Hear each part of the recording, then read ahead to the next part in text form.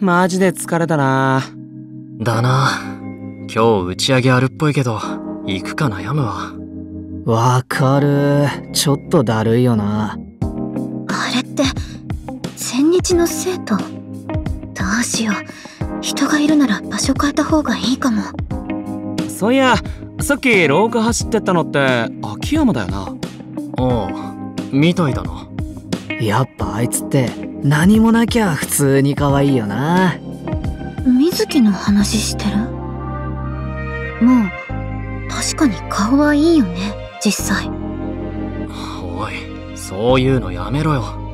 いやだってそうじゃね？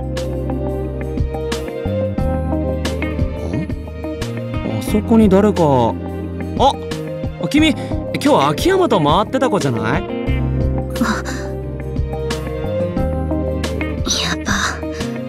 しかけられちゃった。ああどうも。まあ一応そうですけど。ほらやっぱそうだ。おい急に絡むなって。びっくりさせるだろ文化祭の時くらいいいだろ。あねえ君あんま見たことない顔だけど秋山とは仲いいの？まあそれなりに付き合いは長いけど。へえそうなんだ。あ じゃあ君も男だったりする感じ？は？おいやめろって。なんだよ冗談だろ？ごめんね。何それ？冗談って全然笑えないんだけど。いやだから悪かったって君は普通に女の子だって思って。どういう意味？え？私は普通にって。おいもしかしてこの子マジで知らな。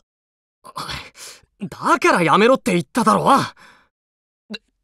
でも長い付き合いって言うなら知ってるって思うだろ普通あいつだって別に隠してねえじゃん。え？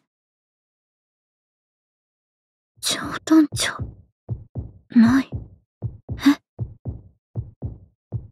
え？じゃあ。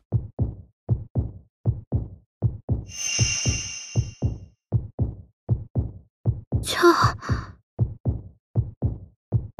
話したいことって。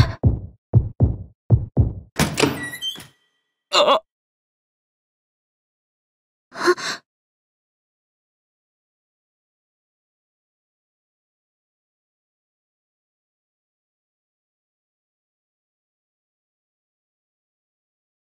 は